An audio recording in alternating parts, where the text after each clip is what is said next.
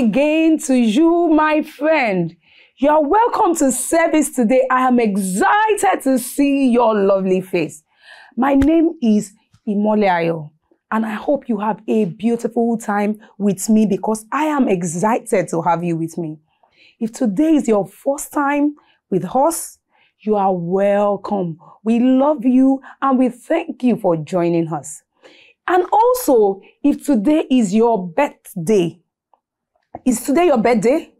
Or is someone raising his or hands there? Oh, wow, we are excited. And that's why we have a beautiful gift for you in the form of a lovely song to celebrate, jubilate with you for your birthday. Enjoy our gift to you.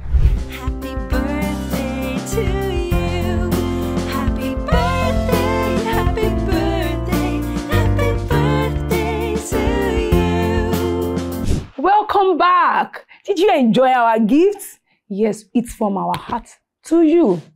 And now let us close our eyes as we pray with you.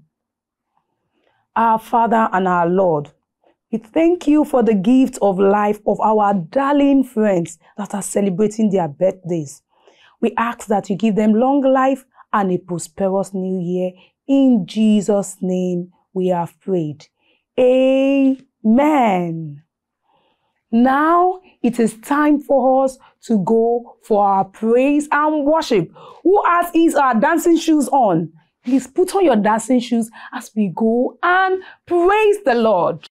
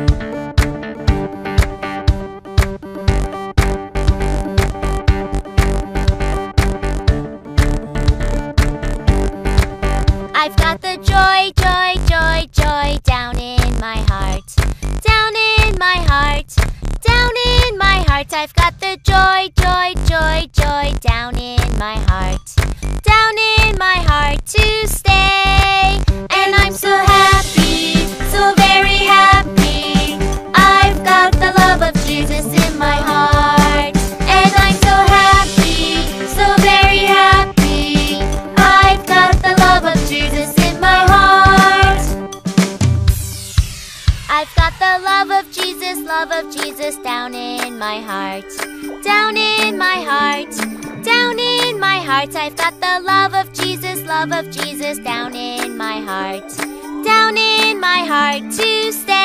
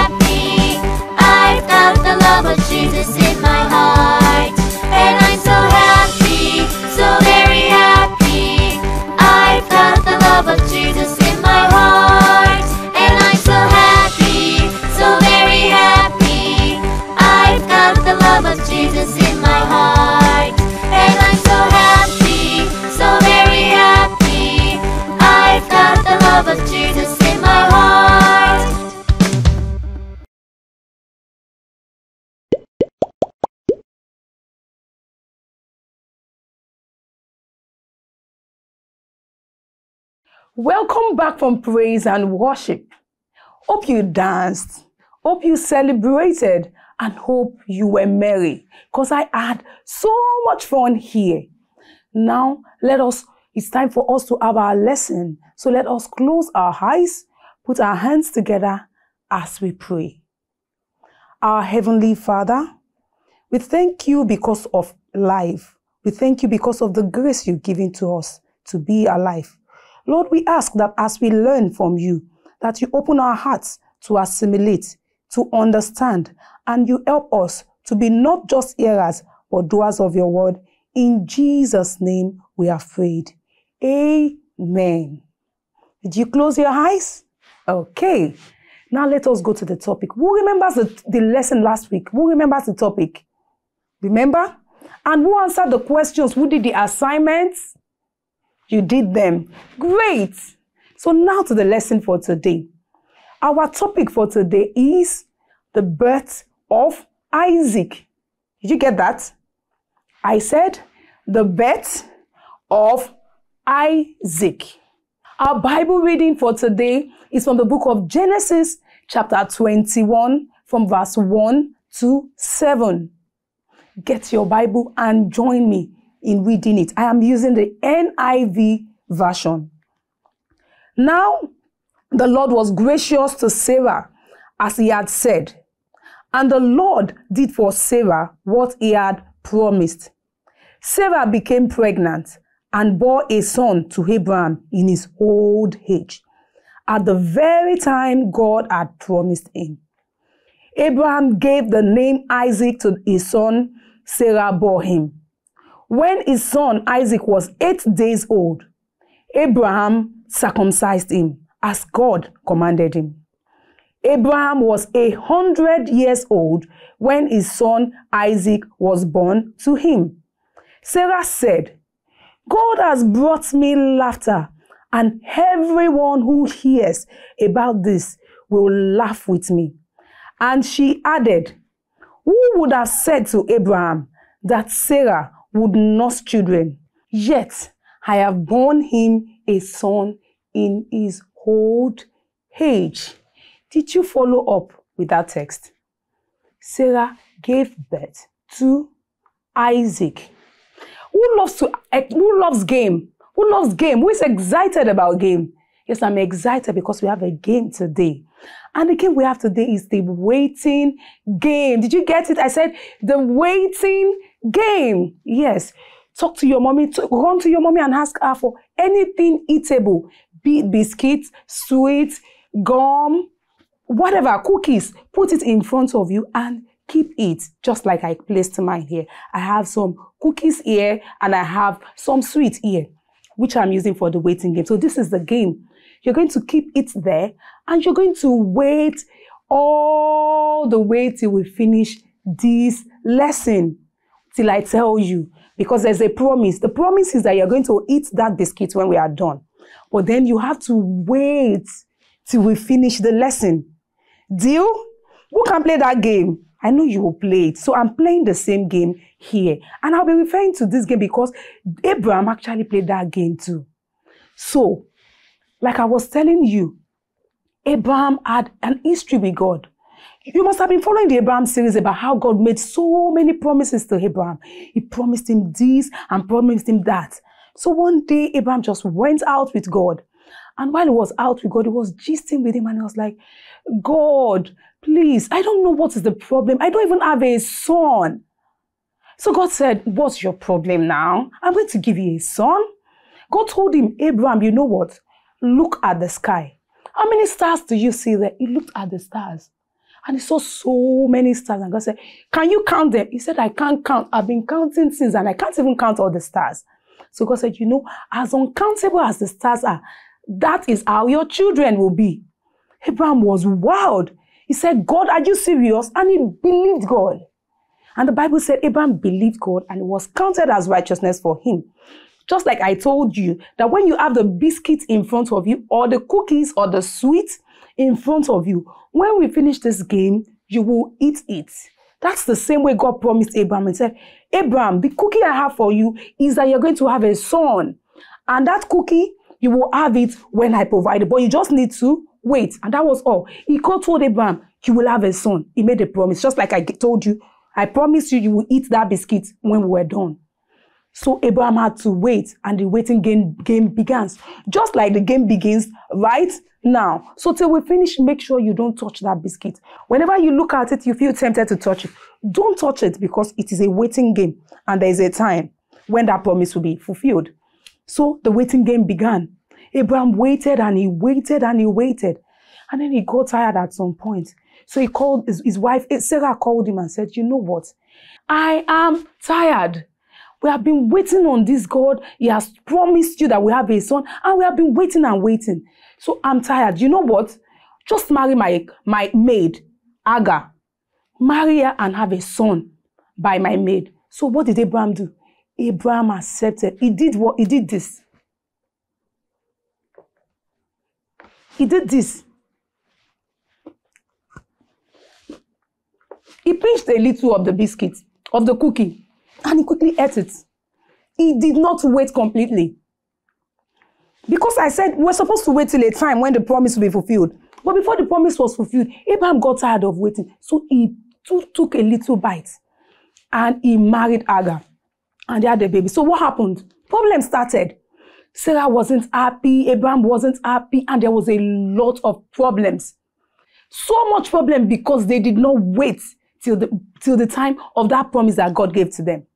So they had no choice. When they saw that everything had gospel, they, they had no choice but to go back and continue the waiting game. And while they were waiting and waiting, then Abraham became 99. By then, Sarah was 90 years old, eh, 89 years old.